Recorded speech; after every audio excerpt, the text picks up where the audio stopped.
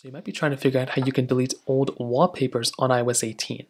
Now, luckily for you, it's a very basic process and it really doesn't take too much time at all. So the very first thing you're going to want to do is you want to go ahead and make your way over into your home screen.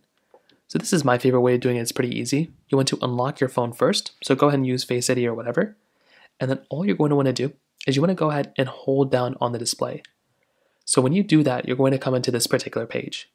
Now you're, you're going to see all the wallpapers that you currently have. Now if you want to delete a wallpaper, let's say I want to go and delete this one, well what I can do is I can go and find that wallpaper, I can just swipe up. Now I'm going to demonstrate it again. I'm going to find that particular wallpaper I have and I'm just going to swipe up from the bottom.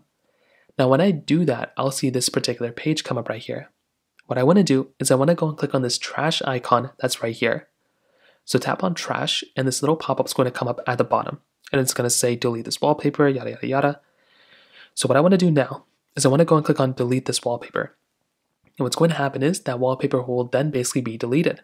So then what I can do is I can jump back into this particular panel right here, and I can do the exact same thing once again. I can just go through, swipe up, and I can use this particular phone as I normally would, but that is basically all I'm going to have to do.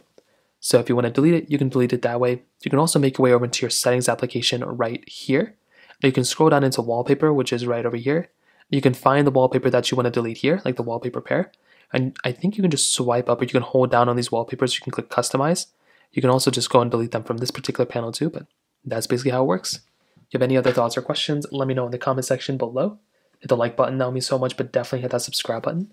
More importantly than everything else, I love every single one of you guys. Hopefully I'll catch you guys in the next video.